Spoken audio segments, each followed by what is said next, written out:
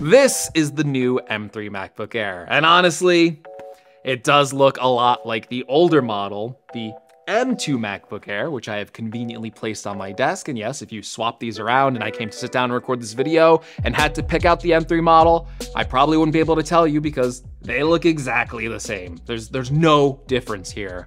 But despite looking exactly the same, you know that's not the whole story. There are some improvements on this M3 model that honestly make it a better laptop for more users and some surprise features that I wasn't really expecting that make it a better value than this M2 MacBook Air.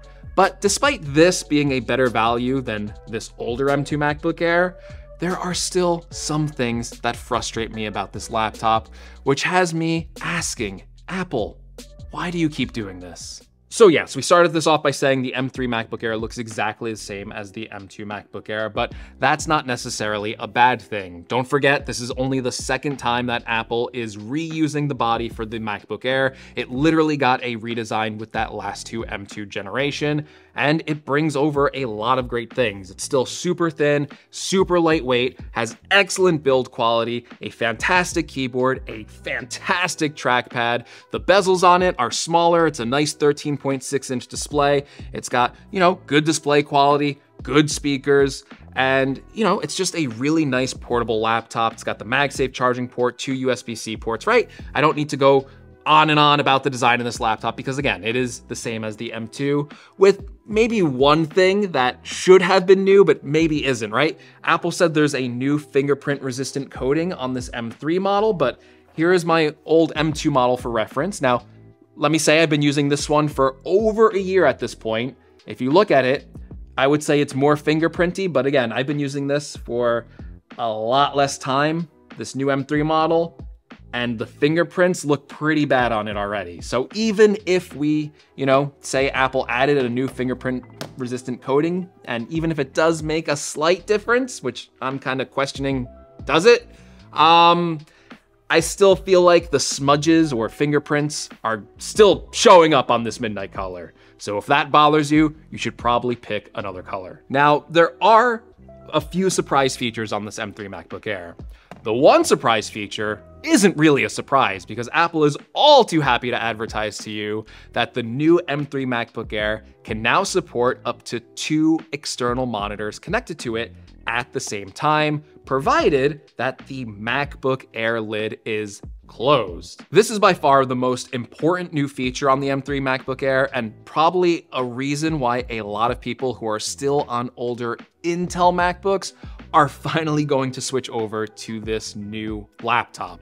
And I say that because over the years of reviewing the M1 and the M2, I cannot tell you how many comments I have gotten from people who were interested in purchasing a MacBook Air, but couldn't because it didn't support dual monitors. And the only other choice for them if they wanted a MacBook was to spend $2,000 on a Pro level variant of the MacBook Pro.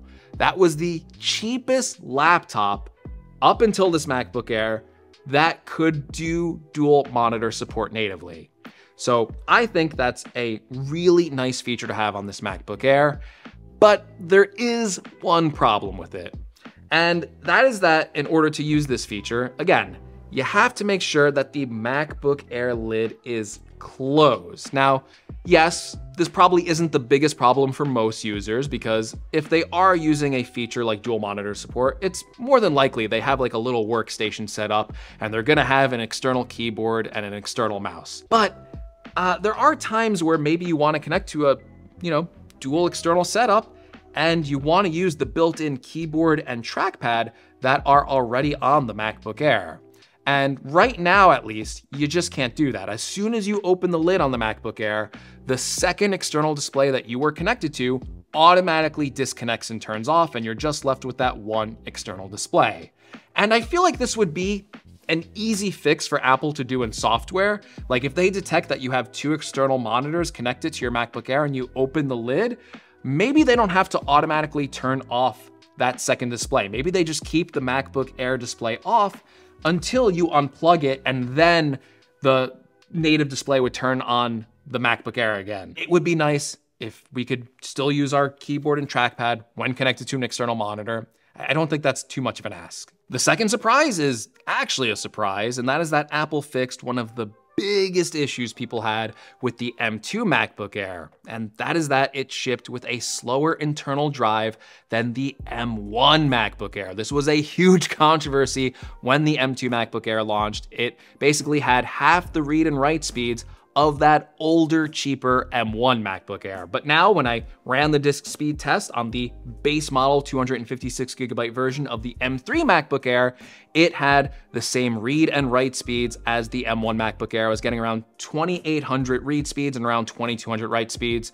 And on the M2 Air, it was about 1500 for both of those. So no longer does the base model have painfully slow storage. This is going to make a lot of people happy. And those are really the only new features on the M3 MacBook Air besides the obvious one, and that is that the M3 MacBook Air gets an upgraded chip over the old M2 MacBook Air. It doesn't have an M2 chip in it, it now has an M3 chip in it.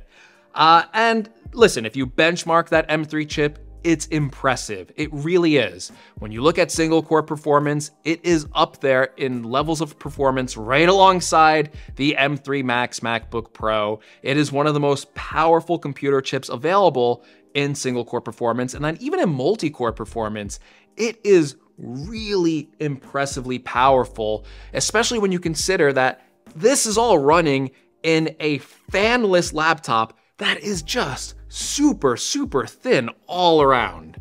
The M3 chip is impressive, but so was the M2 chip. So was the M1 chip. When we're talking about general computing use, the target audience for this base level MacBook Air, there's not much to say here that's new here. I've seen people online talk about how they've upgraded in the past from the M1 to the M3 and they were expecting really increased levels of performance. And for most users, you know, the general users where this computer uh, is aimed at, that really isn't what is going to affect your performance at this point. Is the M3 faster than the M2? Yeah. Is the M2 faster than the M1? Yeah. But the M1 was already so fast that if you clicked on almost any app in the dock, it would open up almost instantly within like one or two seconds. And yes, if you measured it and, and did that same test on the M3, they would open slightly faster. But when the M1 was already opening apps within a second, whatever speed improvements happen on the M3 doesn't really matter all that much. So it stands to reason that most consumers wouldn't benefit from getting more speed increases on these chips. Most consumers would probably benefit from Apple keeping this MacBook Air at the same $1,100 price point, but then giving us more storage with it, and then giving us more memory with it. Because again, most users aren't going to notice the speed improvements from M2 to M3 or even M1 to M3, but they might notice having more storage to store their files on. Or they might notice that they can open applications and have a bunch more open. And they might notice that, hey, when they open up Final Cut Pro, when they finally get to try some of these creative tasks that require a little bit more power, it's gonna run smoother on a M1 MacBook Air that had 16 gigabytes of memory than it does on an M3 MacBook Air that has 8 gigabytes of memory, despite the M3 being more powerful. Because in some use cases, the memory is gonna matter more than the actual processing power of the chip. And you know, when I ask myself, why does Apple keep doing this? Why do they keep shipping these base level models with such low storage and such low memory?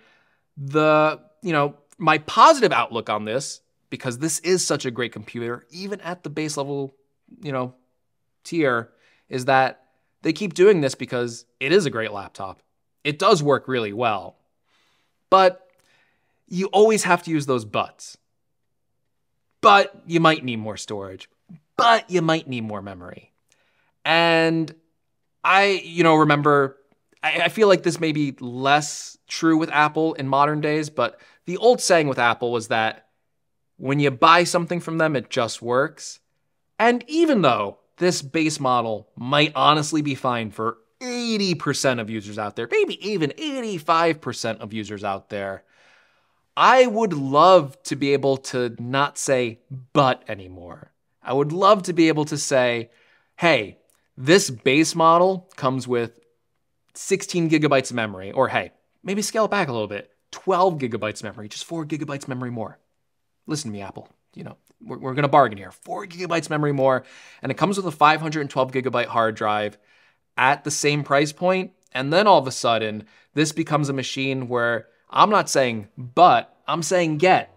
Get it. Because at that level, it becomes a machine you can recommend to so many more users. It becomes a machine you don't have to worry about. It becomes a machine that doesn't have the ifs, ands, or buts, no crevets, right? It just becomes a great laptop that you don't have to worry about, one that is really easy to recommend.